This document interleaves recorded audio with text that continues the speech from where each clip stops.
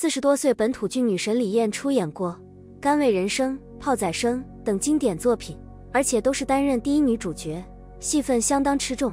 怎料她却爆出请辞剧组并送院开刀。对此，李艳还原惊险就医过程，病况在恶化，直言使指粗的管子塞进喉咙。最新病况曝光，李艳在八点档《一家团圆》担任女主角，怎料健康亮红灯，声带长茧得开刀治疗。再加上个人事业繁忙，重重考虑之下，决定向剧组请辞。李艳在脸书发文：“再苦都要笑着”，并晒出医院照，吓得不少粉丝留言关心，祝福李艳手术顺利。对此，李艳开直播分享病况，直言原本是打算要动手术，但因为对病情很害怕，决定换到另一家医院再检查看看，追查声带长茧状况。而晒出的那张照片就是看诊画面。李艳还原就医状况说，医生麻醉她的喉咙后，就拿出比她脸还长、直径宽度大约她的食指粗的管子进行检查。原本她只有一边声带长茧，但最新查出两边都长茧了。现在开口讲话时，声带缝隙是无法密合的。不过，医生建议李艳可以再试试看药物治疗，或许还是有机会可以不用开刀。李艳透露，医生先让她吃一周非类固醇的药物。检测是否有效治疗，若是没效，会再安排开刀。李艳也在直播期间晒出药包，并表示之前都是打类固醇针治疗，效果很好，声音也会恢复好，但也导致脸超肿，所以这次才采用非类固醇药物治疗。如果未来真的要开完刀的话，修复期要两周，期间不能说话，对饮食都有很严格的规定。本土剧女神李艳出道多年，靠着亮眼的外形和精湛的演技。受到很多粉丝喜爱，不过备受瞩目的感情生活却几乎挂零。之前她就透露自己曾经主动求婚男友，却两度被拒绝，对这段过往一直没办法放下。当时她只觉得时机未到，没想到却目睹了对方吃喝玩乐的一幕。被抓包后，让她心里一直无法释怀。此外，她在2013年闪嫁谢点林的事情曾引起轰动，婚后她还公开帮老公站台拉票。不过，两人婚姻只维持了十八个月就告吹，双方都表示是因为个性不合，没有第三者的介入。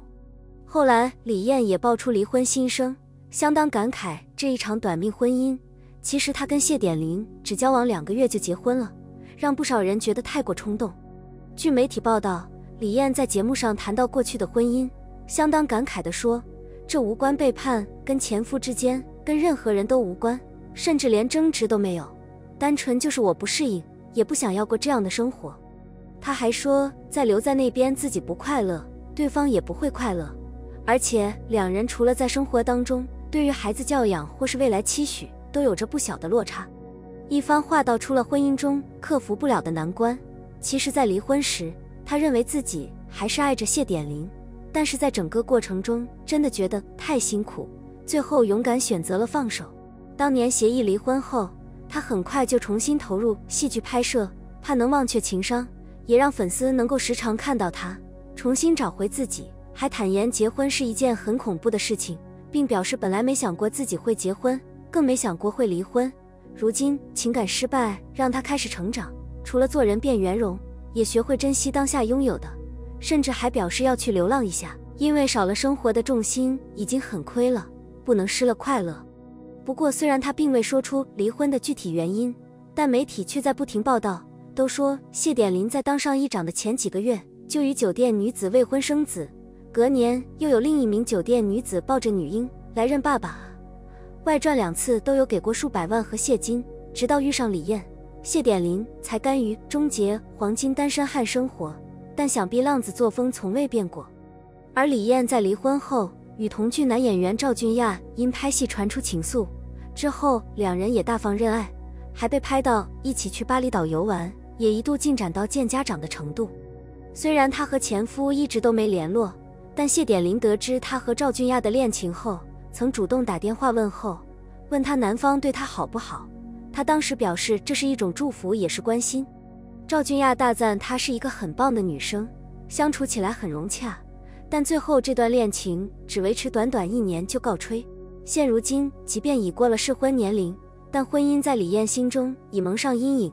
她还说自己很会哄小孩，也很喜欢小孩，但对于未来人生清单上是否还会想要拥有自己的孩子，她则难过，表示好像没机会了。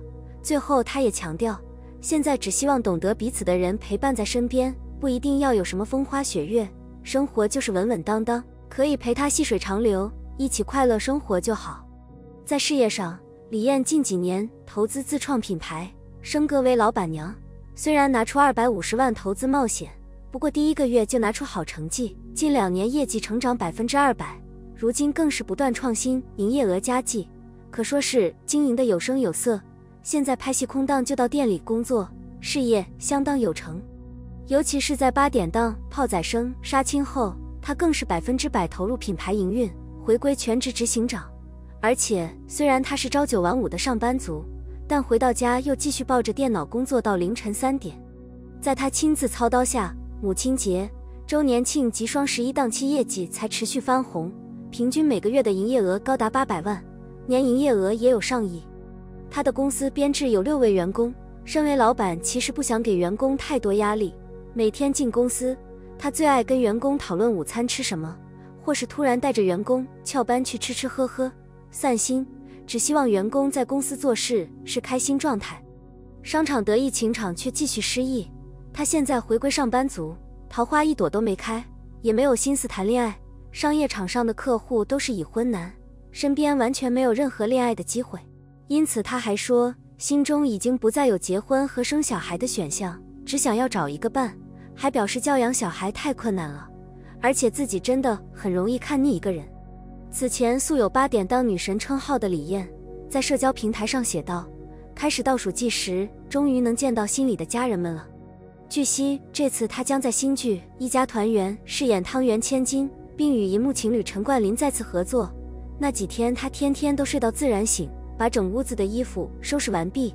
预告在经历一年半的休息后，终于要拍摄新戏《一家团圆》，而他也要把握时间，多加休息，用养精蓄锐来做充分的准备。之后，他与同剧演员翁佳明、陈冠霖一同现身创意内容大会，为新戏《一家团圆》宣传。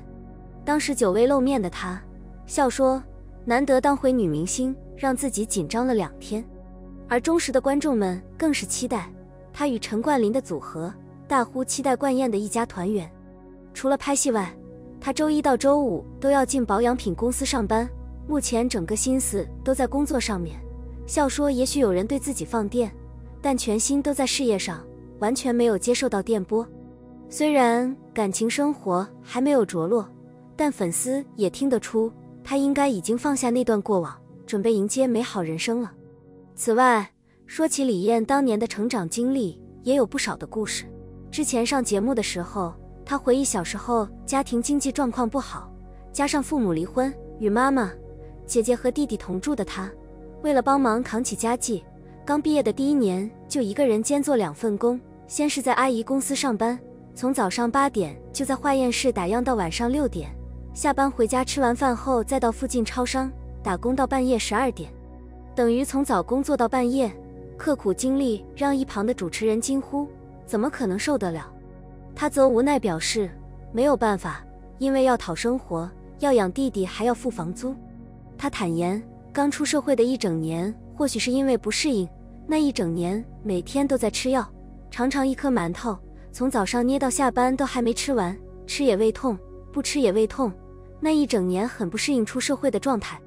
当他回忆起家境不好时，弟弟需要缴营养午餐餐费六百二十元，那时母女三人把身上所有零钱拿出来凑，才刚好凑齐。当时他担心弟弟抓着一把零钱到学校被同学笑。还特地到楼下杂货店帮忙换成百钞。所幸到了最近几年，弟弟已成年，家里经济状况才渐渐有了好转。这两年，他也重返最熟悉的荧光幕，回到这个有许多人等待他的舞台。